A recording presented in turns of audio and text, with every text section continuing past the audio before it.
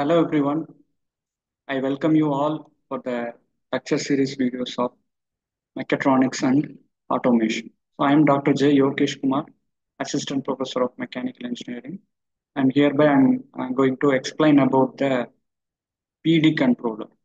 In the previous video, we have discussed about the uh, proportional controller, integral controller, and the de derivative controller. So this in this video, we are going to discuss about the PD controller. That PD stands for proportional and deriv derivative controller. So this is the hybrid controller where we are using the both advantages of uh, proportional and derivative. So we are combining proportional mode and derivative mode. It becomes PD mode. That is proportional derivative mode. So let us have a discussion about the uh, PD controller and how it is uh, functioning. What are all the response outputs for the PD controller in this video.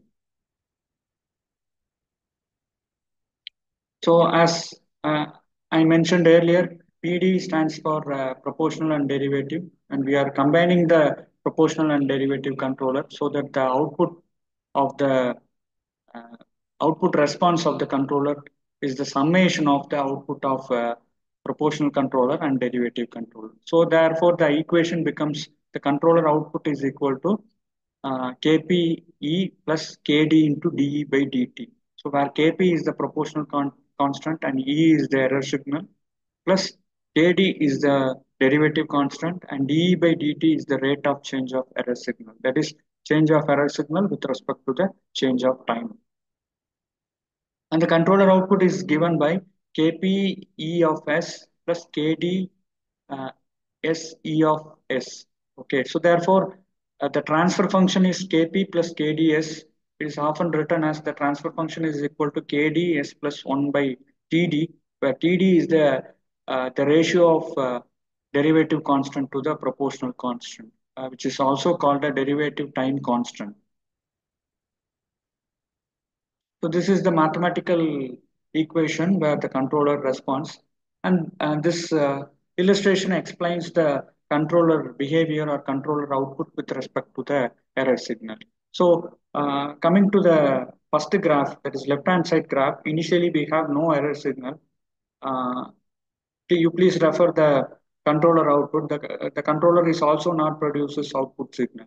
For a particular time period, the error signal is uh, produced in the system. So therefore, whenever the uh, controller receives the error signal, immediately the derivative mode comes into action, which produces a large output uh, that is uh, equal to the error signal. So when the error signal uh, receives the derivative mode is in function and it produce, produces output.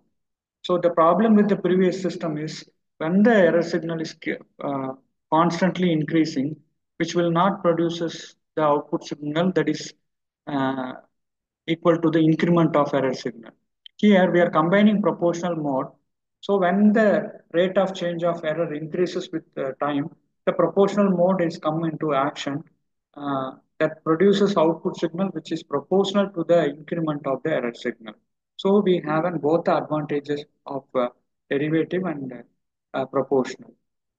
So which will be useful for uh, uh, many applications like uh, conditional monitoring of air conditioning system and refrigeration system, then engine cooling systems used in IC engine control modules. So these are all the few applications of the PD control systems. And these are all the references for my presentation.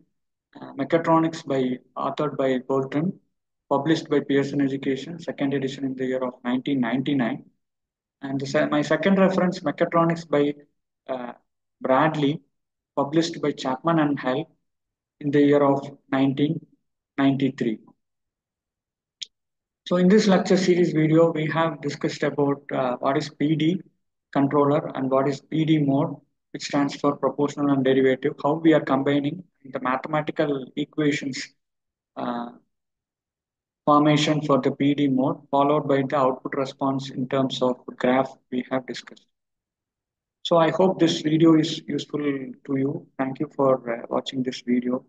The upcoming video we have uh, we will discuss about the remaining modes. Thank you, everyone.